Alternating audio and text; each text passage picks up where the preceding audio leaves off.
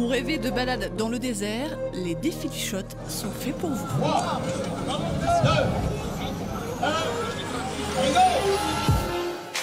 Directeur sportif de l'épreuve, le Loiretain Jean-Marie Rouault, vainqueur du Paris-Colmar 2013, a d'abord concocté une petite sortie dont il a le secret.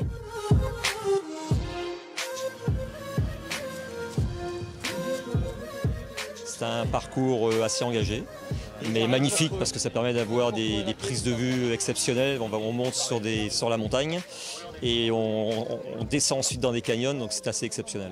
Un paysage à couper le souffle dans tous les sens du terme. 11 km plus tard, tout le monde a le sourire, prêt à relever un nouveau défi. Félicitations. Fais-le ou ne le fais pas, il n'y a pas d'essai. Place à la compétition 5, 10, 20, 30 km en courant ou en marchant. Les défis du shot, une idée folle née dans l'esprit de deux hommes il y a 24 ans.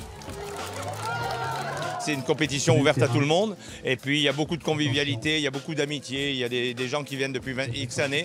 Et c'est une rencontre, en fait, euh, tous les ans, euh, renouvelée. Et j'espère que ça va durer encore un petit peu. Environ 350 participants, beaucoup de groupes de running et un club de foot. Les vieux du stade, équipe vétéran de l'US Loris près de Montargis, un match de foot à Tozeur et plusieurs sorties en guise de décrassage.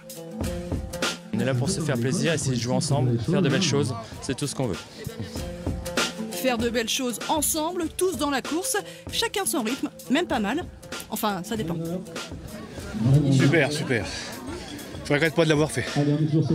C'est dur, mais c'est bien. Ça permet de faire un petit peu de sport euh, en voyant des paysages euh, qui sont différents.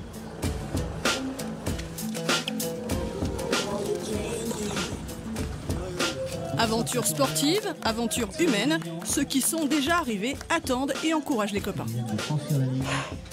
Je sens plus mes jambes. Mais bon, ça va le faire, ça m'a. Ça fait plaisir et. Défi est relevé et je suis fier d'y avoir réussi avec mes amis. Défi relevé, ils ne pouvaient pas en être autrement. La force était avec eux.